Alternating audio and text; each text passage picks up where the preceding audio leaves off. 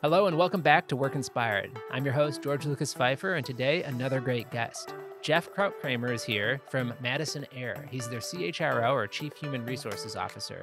He's going to tell you about their company and how they're delivering ROA or return on air for businesses, how they're implementing a frontline obsession with their employees, and how they're creating a culture of entrepreneurship where they're building for a better future. Work Inspired starts right now.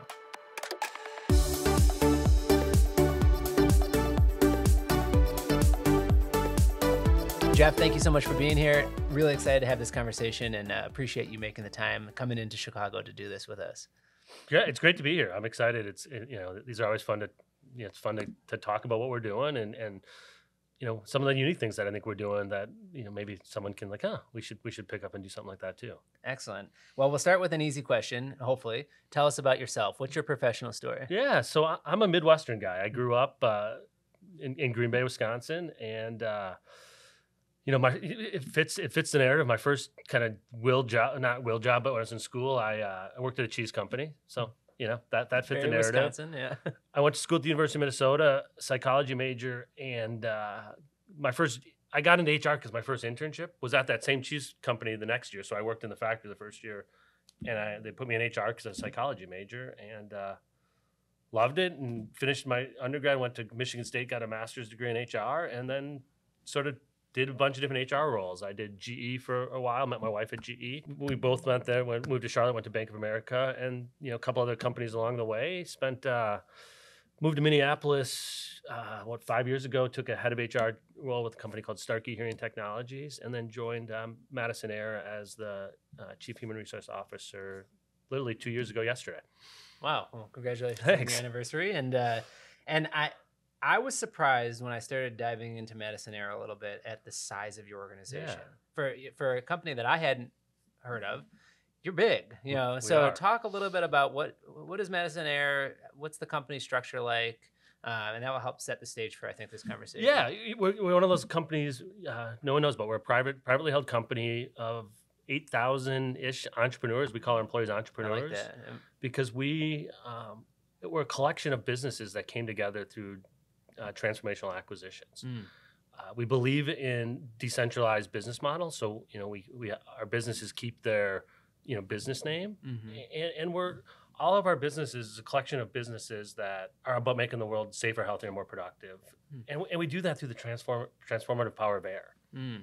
And so that's where the Madison Air thing comes in. Yeah. And, and if you think about how air is, we, we forget about, you know, we forget about the air we breathe, right? We take 25,000 breaths a day. And unless it's the air smells, you don't think about it. Mm. So is I, I know there's a couple iconic products in your Mhm. in your portfolio, like big ass fans. Yep. Um, is is most of the are most of the products that you provide are they for the commercial setting or are you also in the residential space? We're both. Okay. Um, so have Big Ass Fans is, uh, you know, it's a fun, it's a fun company to talk about. It's great culture in Lexington, Kentucky, and they have both a residential Mhm. brand Oh, they do. product. I didn't know and that. so yeah, you, it's called the Haiku and some other Oh, products. I've heard but- of that. yeah. um, they're really big in sort of you know the commercial industrial space Mhm. of providing comfort really i mean comfort solutions to uh, you know in a lot of cases empl- for most cases, employees And so you said you have eight thousand entrepreneurs around that, uh, and those are dispersed across how many different companies?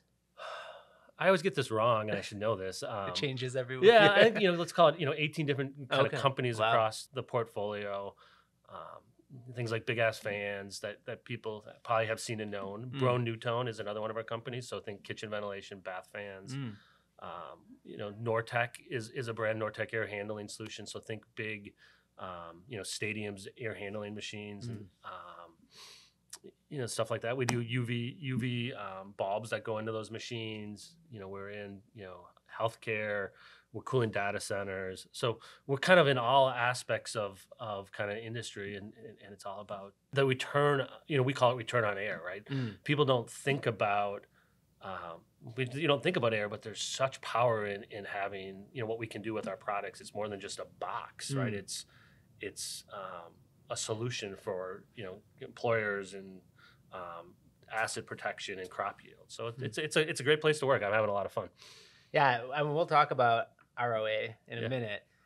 how though we talk about culture on this show a lot, Yeah. organizational culture and often that starts at the top Yeah. right from leadership and very often that's heavily driven by someone in a people leadership role like yourself so how do you navigate organizational culture at a company the size of madison air but that's dispersed across so many different businesses and different locations and even though they're all entrepreneurs Yep. you know entrepreneurs are unique you know so how do you how do you allow them to to be decentralized and have their unique you know their unique cultures and brands but also have some form of process or control around all that Yeah, I don't think it's about control. I think it's about finding common commonality, Mm. right? Each of these businesses has their own culture, Mhm. and and do I, I? I don't think I ever see like there's going to be just this the one Madison Air culture Sure. because one I think I don't know if any any big company has one culture because I think it's culture is really unique to um, the leader itself, right? Mhm. I, I, don't- I think leaders set culture. Mhm. And so leaders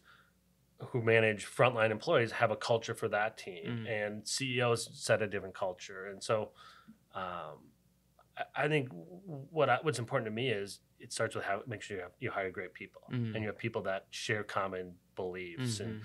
you know, ours is make the world safer, healthier, more productive, decentralized, build great teams, growth mindset leaders. Well, that's that that if you hire people like that with different backgrounds, different perspectives, diversity of thought and background, you, you don't want to you don't you let that that is important, but it's all around this commonality of let's make the world safer, healthier, more productive. Let's treat our employees, you know, right. Let's have a frontline obsession Mm. growth minded and we're builders right we're, Mm. we're a couple year old company and we're building something that is in the early stages Mm. of you know where we think this company can go growth wise and, and impact we can have on, on the world so what i'm hearing is a shared vision and mission Mhm.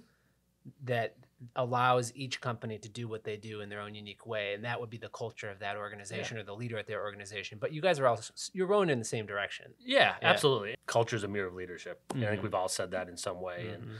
you know you know what that means is what's the uh the what what's the what, whatever the behavior you're willing to tolerate that becomes the the bar for what culture is. Mm. and so i think what's really important is focusing on the, the people you have in leadership roles and Mm. making sure um, they're going in the same direction and we don't tolerate the asshole syndrome if i can say that if we Yeah, can take that out we'll edit that, it but yeah. you know it's like you need to be a good you know you need to be a good person who believes in treating people fairly and with respect Hmm. and, and i think we set that tone from the top and and that sort of carries out through our organizations you talk about hiring the right people yeah the barometer for who's a good person is sometimes hard to uncover in an Mhm. interview process, right? So, so how do you how do you hire the right people at Madison Air? know i wish it was 100% you know i think it's intentionality Mm. um and it, and it starts with you know and i spent when i when i'm when i'm involved in a hiring i spend a lot of time and it's not you know there's people who are like oh i know in the first 15 minutes if someone's the right candidate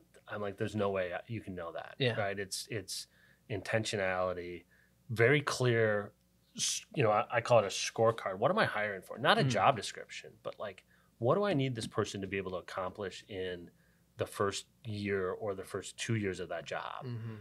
and so I'm hiring like have they you know you know if I want someone who wants to you know pick pick a grow outgrow a market ten percent well have they ever done that and Mhm. if they haven't it's pretty hard to say well you, now you're going to go into a new industry new team and go do something like that Mhm. so it's very it's it's about being intentional Mm. um, and and investing the time Mhm. and then you know there's there's in the world we live in there's there's a ton of opportunities to get behind the you know backdoor references right Mhm. and, and Mhm. spending the time and you know I, I I ask people like hey who should I call like Mhm. and, I, and spending the time to do it and and then um, having multiple multiple people talk to them and, and calibrating like yeah do we think this person has the skills we want and do they fit you know you know what what we're, what we're looking for Mhm. and again I don't want carbon copies of you know Jeff Krautkramer or, or anyone in the business but do do they do they have the shared beliefs of Mhm. empowering people, building teams, um, getting on growth, being entrepreneurial, bias for action, right? So our, you know, our, our entrepreneurship, bias for action, and trust are our three values. Mhm. Like, so how do you do, do through your conversations with people? Do they do they display those types of um, leadership traits? bias for trust. That bias for action. Oh, bias for action. Trust oh, and and entrepreneurship. Okay, okay, that makes sense. So, your workforce, obviously, there's a lot of manufacturing, right? So, uh, what kind of percentage is manufacturing versus knowledge worker?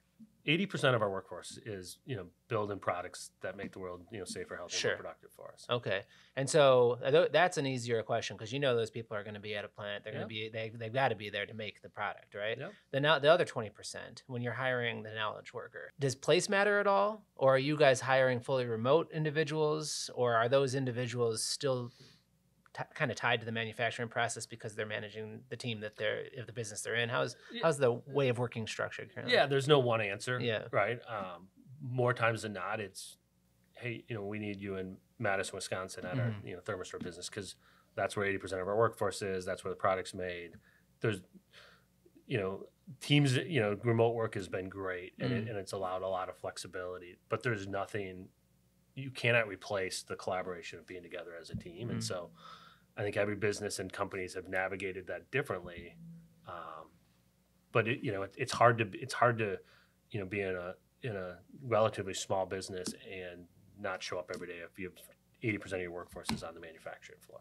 Yeah, and I think where my question is almost getting to it as it relates to the hiring process is do you find that it's necessary to have a person personal interaction when you're identifying someone to be part of the team or have you found an effective way to do it over a I- Zoom call yeah, no, I, a good question. I think I think I have. I've gotten comfortable of doing it over Zoom and, and Teams. And I think we've just, I think the you know the, the pandemic forced us to get comfortable with it. Mhm, mhm. If you would have asked me four years ago, would I ever hire someone without looking you know across the way? I'd been like, no way. Mm. But I, I've done it a lot, and um, it goes back to intentionality, right? hmm hmm And I think too, you know, we'll talk. Uh, the culture is such a big, uh, an important piece, and we'll talk a little bit more about having fun at work yeah. and and uh, the the frontline obsession and um, what though is changing about the recruiting process as it relates to technology. You just talked about a shift in three years to to be maybe more virtual or be more comfortable using something like Zoom or Teams to to to interview a candidate and feel comfortable about that candidate on both sides, Mhm. candidate as well. Um, but are you seeing any other changes ahead, whether it's with AI or with recruiting uh, service providers? I don't know. I mean, it, I know we've just gone through a really hard time of finding people, Yeah. right? The labor market was tight, unemployment's really low, and clearly nothing's going to trump having a great organization with a great reputation and people want to come work for you, Mhm. right? But outside of that, is the is the is the is the world of a people leader is it is it getting easier? Is it getting more complex? Yeah, I don't think it's getting easier. I, No. I don't think there's nothing that tells me that it's easier to find talent Mm. than it, than it was, you know, a year ago. I think um, really good people are in, in high demand. Mm-hmm. You know, I think AI is is sort of this interesting um, tool that you know I, I know I'm not as as educated and deep as I want to be in it yet, but Mm-hmm. you know, does that allow us to get a lot more you know precision on you know your searches with Screening and so- LinkedIn, right? Yeah. um, you know, I, I think it's like all things in in, in business. Is we just got to continue to adapt. Mhm. And AI, like I'd say, I think I'm behind, but like, what do I need to do to get up to speed? And, and that'll that will change the recruiting game. Mm-hmm. Um, remote work and people, you know, you you get a lot of people who are like, nope, I'm not moving. I'm I'm not going to move anymore. I think relocation of people is way down, Mm-hmm.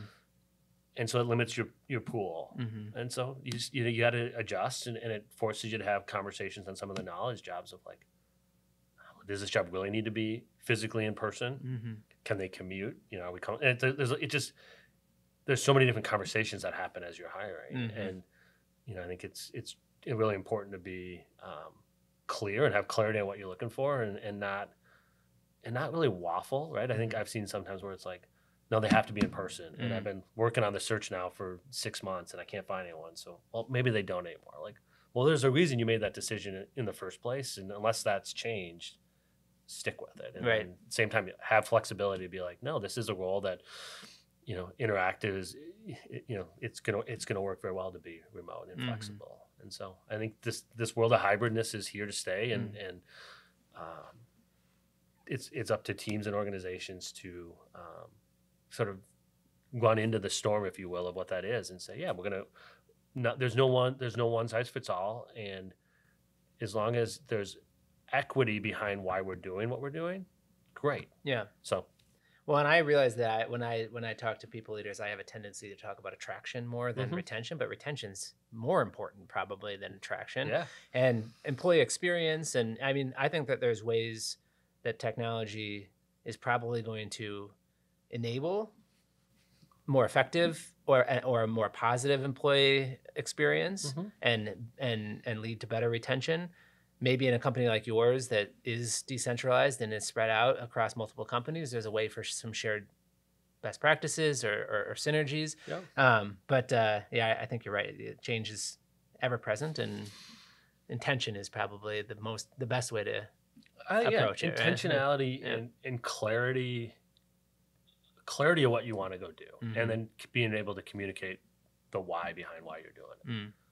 I think that's and that's ki- that's all. I mean, it's, I think that's what you probably want. So I just want to understand what we're doing and then why, yep and then I can get on board. It's- Exactly. it- and so I think that's what most people ask, and I think sometimes leaders forget the the why. mm, hmm and it's harder than it sounds Oh, easy. Yeah, it's easy to Yeah. talk it. It's uh, I mean, it's hard to do. It is. Uh, so tell me a little bit more about this frontline obsession uh, with your employees. What does that mean, and why is it important? Yeah, I I love I love that we're, we're focusing on it first of all, and I've been I've been in HR for the, whatever twenty some years, and, and mostly been in manufacturing companies. And in a way, it- didn't even dawn on me until I joined here, and you know, great thought leaders like you know Joe Wyant and others who are like, yeah, we do- this is this should be different, and I think COVID forced us to be different, right? Mhm. You go back to the pandemic, they were all essential workers. They kept businesses alive because they showed up every day. while, you know, you and I were working from our basements or whatever it was. They kept America going because they made the products that, that were important. And, and, I- and that forced our shift to Mhm. say, well, wait a second. You know, there's why is there a wall, physical wall? Most you go to any manufacturer, there's an office and there's a wall, usually a door to get out to the manufacturing site, and you know, but there's a mental wall. Mm-hmm. And so what we've been on a, a journey on, and an obsession is about this, like you preoc, you keep thinking about it, right? The word obsession itself, and it's a I think it's a great word because we can't lose sight of, we can't be one and done on this focus on frontline obsession is why do we have to, why, why are there two standards? Mm. Why, why is my flex, why do I have such flexibility in my job, but the person who's making one of our products gets a point if they're late for work? Mm-hmm. And so, you know, we've we've been you kind of Maslow's hierarchy of needs is a great tool to look at. Well, what are the basics employees? Do they have living wages? Are we paying people a living wage so that they can, you know, support their families? Is it a safe and comfortable, you know, safe? Is it a safe place where no one's going home hurt? Mm-hmm. Um, do they have a voice? And you kind of work your say up, up, work your way up the pyramid. And so we've taken that approach, and we're looking at our workforces. We're in a lot of our facilities, we're killing point systems. If you're on the manufacturing floor and you have a child and I have a child, you you have the same Right. responsibilities that I do. And if I'm five minutes late because hey, I had to talk to a teacher, whatever I had to do with with, with my kid, no one cares. Like, oh yeah, hey, just join. Hey, we'll catch we'll catch you up on the meeting, right? Right. if you're a man, and a lot of facilities around the world or in the U.S., if you're late, oh well, I'm sorry, I'm sorry you're you had to talk to your teacher. Here's a here's a point. You you know you you only get five more and then you get fired. Mm.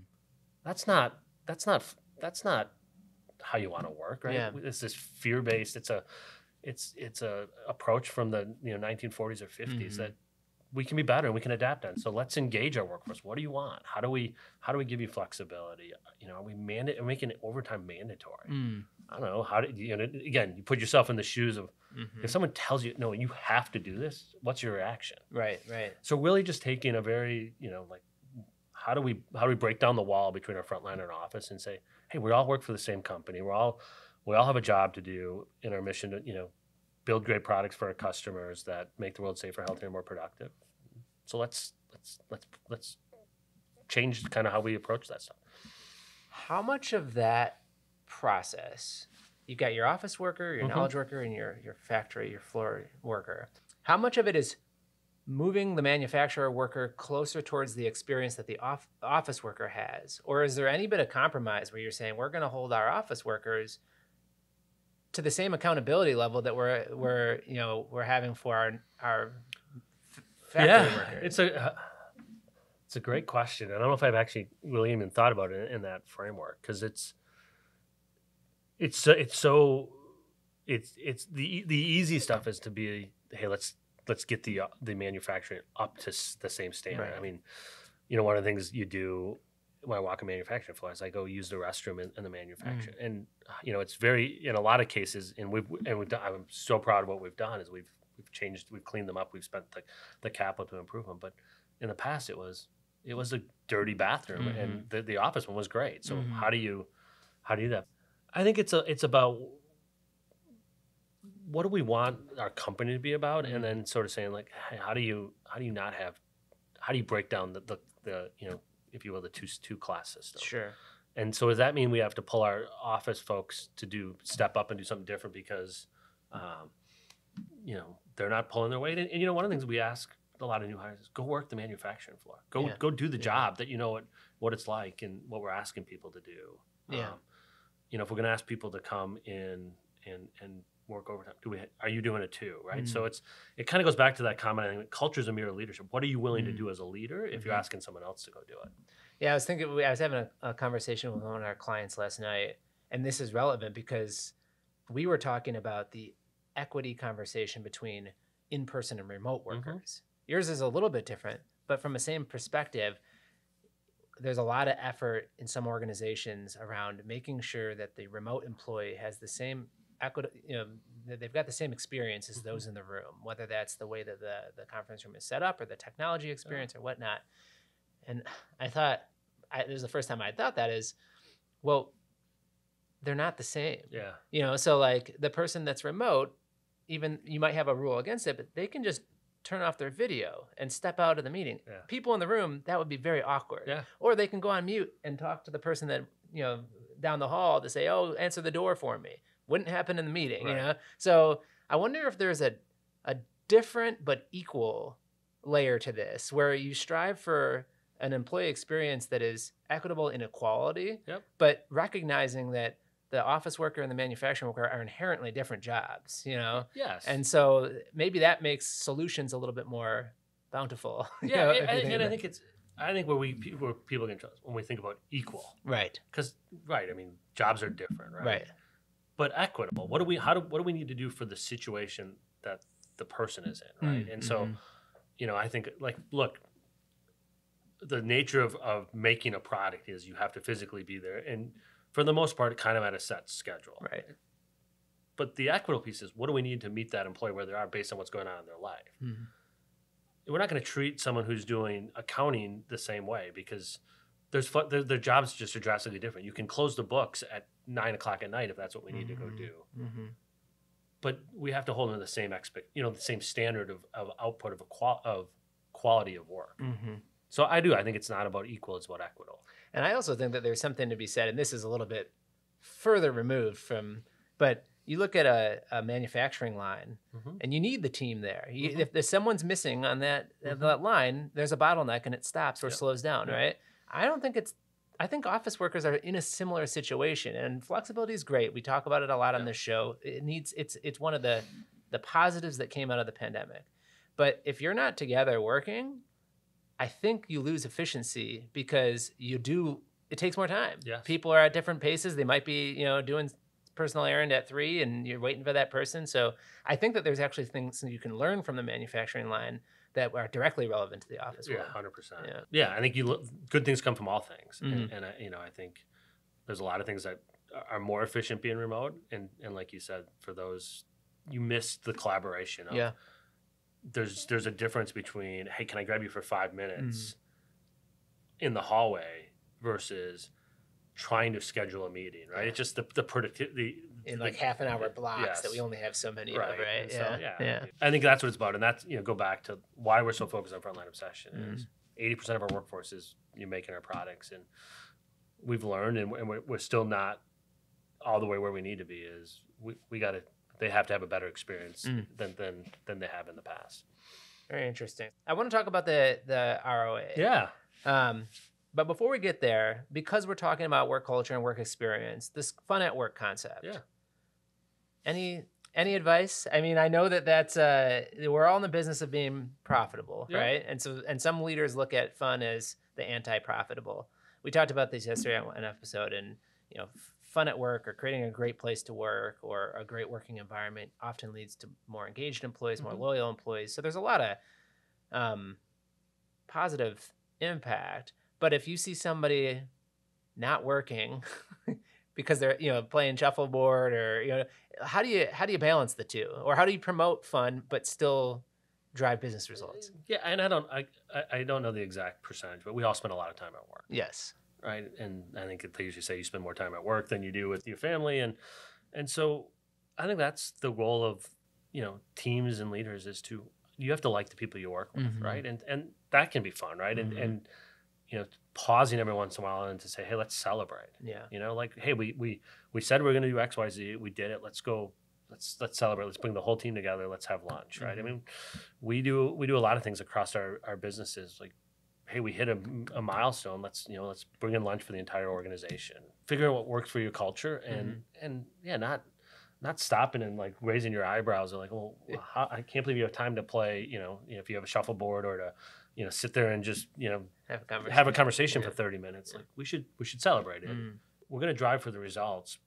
How you get there doesn't matter, right? Mhm. Well, I mean, it- how, you do it matters, but like, it's you got to have fun doing it along the way. There's, Yeah. th- I mean, I love the I love the team I get to work with, and if I didn't, I wouldn't want to spend as much time as I do. And it's also kind of a self fulfilling prophecy. Success is fun, failure is usually not, right? I mean, Absolutely, uh, it's failure is necessary, but success is fun. you learn a lot from yeah, failure. Yeah. So, but you're right. I don't think you can ever look back at you know you look back at some of the the hardest times in your in your career. You're not like I didn't have a lot of fun there. I learned a, I learned Yeah, a lot. Yeah. Yeah. and when things are going well, when business is performing, it's it's a lot easier to like yeah to, to have Mm-hmm. fun. And so I think it's you know job of, of leaders and managers and just influential leaders and come like Mm-hmm. let's let's stop and, and recognize and you know celebrate the, the, the little things sometimes. I think Mhm. we're easy, it's really easy to to celebrate big milestones. Sometimes Mhm. you just gotta uh, celebrate the mile the small milestones. hmm And having somebody, having the right people on your team, Yeah. that's got to be a major player in this as well. You know, you've got, uh, I, I know some some organizations will have like a chief fun officer. Yeah. You know, like they really try to be intentional about creating fun experiences, and I don't think that there's anything wrong with that. But I think if you've got the right people that embody that employee 1st Mhm.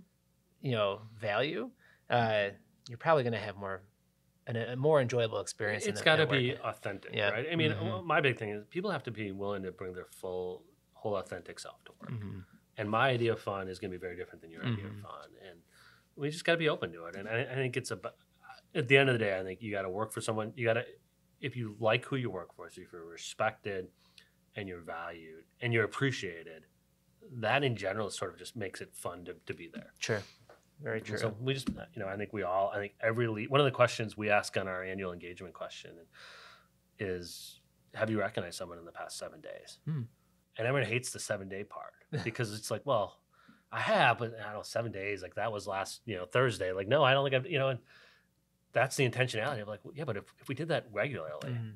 you know, people would be, it'd be a better place to work. So Yeah. the seven days, there's value to asking it in the seven days. And how great would it be if you felt appreciated and recognized and given feedback on a regular basis? I mean, I, I love the, the recognition piece, but I wish all organizations were better at giving just direct and candid feedback. Mm-hmm. And, Yeah. you know, that's, it's probably one of the biggest challenges for any people leader is the willingness to give candid and direct feedback. I don't, I would, I would argue across corporations, we're all just, we're average at best at it.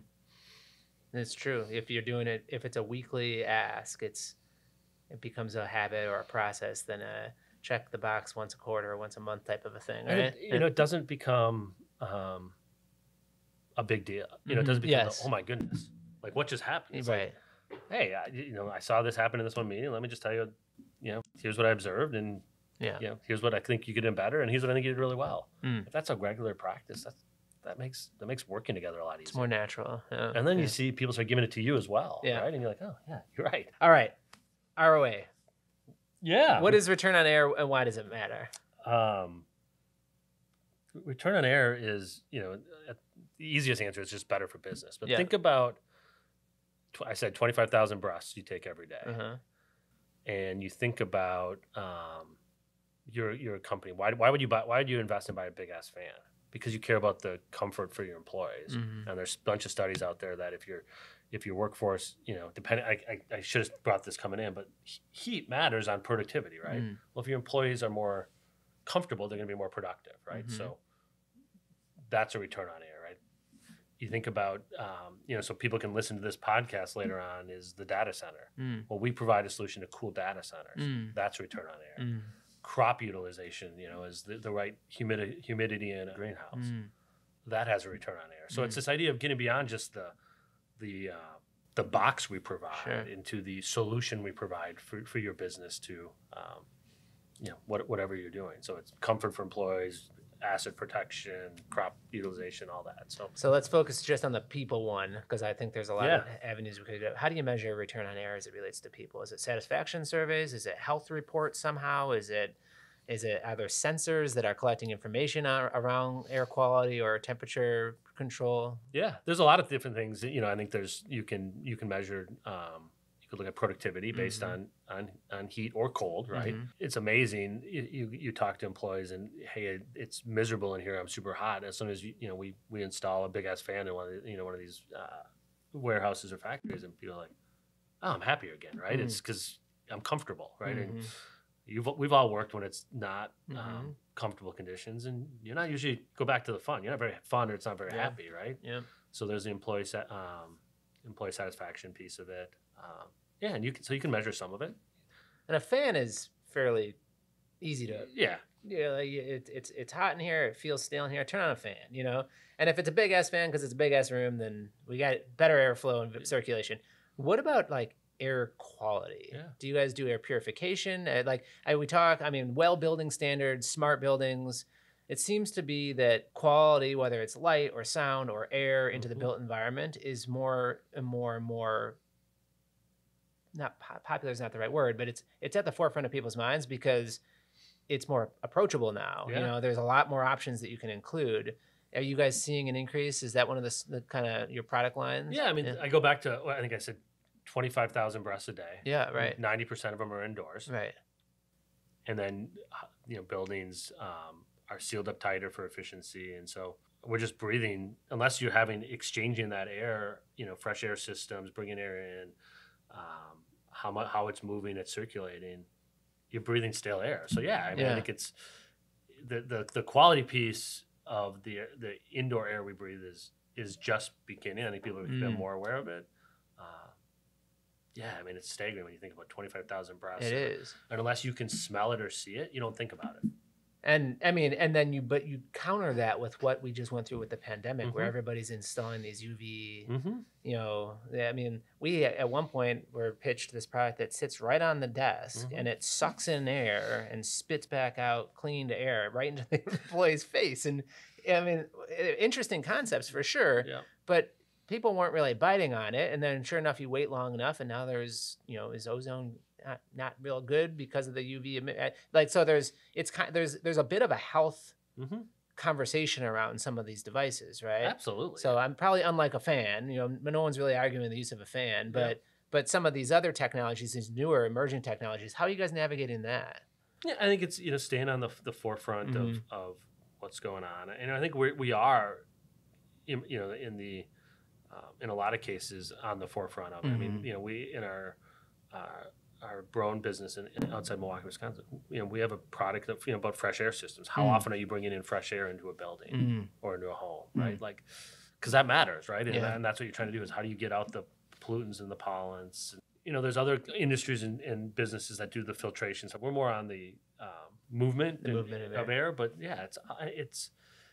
I think we're all realizing it's it's going to continue to be on the forefront of what Mm. people are thinking about, and it's you know good for us. It's good for business that Yeah. you know people are starting to talk about it, and it's they're using it to not just say, "Hey, I care about the cost of something." It's the what's the total cost of ownership, or what's the what's the benefit for the workforce or the building tenants, right? So there's it's bigger than just the the initial cost. It's what's the goes back to return on air. What's Mhm. the what's the long term return on air I get by making this investment?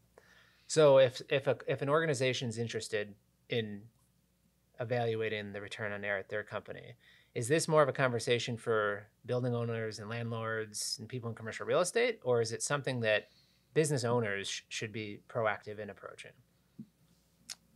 I think it's it's everyone, right? Everyone, I mean, yeah. if if um, if if you're a business owner and and you have um, you know heat in your in your business or you're not moving your air or you're ha- you know hiding it like yeah you should be having that conversation Yeah. because it's your employees are probably like gosh this isn't where I want Yeah. to be Yeah. you know if you're trying to if if you know we provide solutions you know in hospitals right Mm. and, and clean rooms right you think about how you know you know um, operating rooms like yeah you want to make sure you have the best most quality uh, purified air Well, cool. Well, that's exciting. I definitely agree. It's a you don't see it because it's air, Yeah. you know, but it's certainly a critical point, a part of life and of our working experience and our home experiences. Yeah. So, um, Uh, the 25,000 breaths you know kind of got me when we you started to hear that is that the that's the average of a human in a day? yeah that's Wow. yeah that's I, funny aside uh, shout out to our CFO he was like oh we should brand the company 25,000 breaths Yeah, seriously. that's why he's a CFO not a marketing guy so is I, I was going to ask you this: Is Madison Air is that the name originate from Madison, Wisconsin, or is it someone's last name? I think when they were looking for a name, I think they were, you know, they're Chicago-based company. They're they were on Madison at Madison, Madison Street, Avenue. and it was like, Yeah. oh, and that just became, and and there's you know, um, there's there's value in that name, and we just instead of you know we used to Madison Indoor Air Quality, we Mhm. stuck with the Madison to get to Madison Air. I like it. What's next? What's something you're looking forward to in the next 12 months? just the, the, the build, right? Mm. You know, we've been on a, a, a fun journey, a fun ride. You know, we spent a lot of time over the last two years of really getting, kind of building out the leadership team of Madison Air. And now it's working with those teams and the different businesses to go just continue the journey of building great companies where, um, you know, we're making great products. We have great, great, great workforces where people are highly engaged, that they, they you know feel they can be their true authentic self at work and we're making a difference so it's a build i you know I, that's why this was such a fun job to join is not everything's perfect and, Yeah. and building's fun and like there's pull out your hair days of building too right But- Entrepreneurship, right? yeah but I, i'm a I love Yeah. to build Yeah. and, and you know you can look back and be like oh look what we got done Yeah. so that's what's fun that's what i'm looking forward to is just continuing the build Excellent. Well, you've had a, a successful career so far. You've done a lot of cool things. You've lived in a lot of cool places. What's what's something that helped you along the way? What's a resource that you could recommend to others? i think it's it's not being af- a cou- i mean a couple things i think it's someone's mentality it's not being afraid to take the hard jobs Okay. you know, doing like the job that no one else wants. I think we've all heard that before, but really doing it, right? Mm. I can think of the, one of the jobs I had where, you know, I led HR for sort of an off, at a bank for kind of their offshore business, and Mm. it was like you know a lot of trips to India and Costa Rica, and that was hard, Mm. but I learned a lot. I learned a ton, um, and I think it's working for people you, you really respect and can learn from, Yeah. um, and not running away right away when you have a bad leader Mm. because I think you know you can learn a ton from great leaders, and I've I've been fortunate enough to work for a lot of great leaders. Mhm. I've worked for a few bad ones along the way, and you know you learn from that, and you're like, I don't want to be that person, Mm. or I've seen what they know, and so how do I not do that? Mm. So I think it's it's um, being open to open to ideas, open to change, and high thirst for learning Mm. is probably what I would say is never and never being satisfied. It's great advice, and it's been such a pleasure talking to you. You sounds like you're doing some great things at Madison A. The culture you're building, um, the values that you've set, uh, the perspective that you've got. I appreciate you sharing them all with us today. Yeah, this was fun. Yeah, thank you. Thank you. Thanks for listening. If you enjoyed this conversation, please take a moment to rate our show. If you haven't already, be sure to subscribe to the Work Inspired podcast so that you don't miss any of the incredible guests we have planned for upcoming episodes. We'll continue to find the best and brightest minds in business so that you can learn, grow, and succeed, and so that we can all work inspired.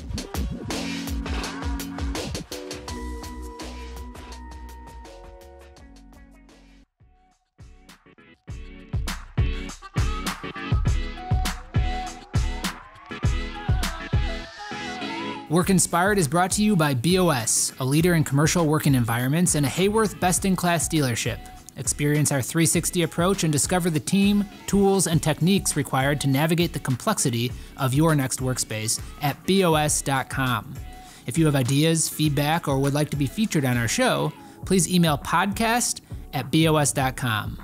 Thank you for listening.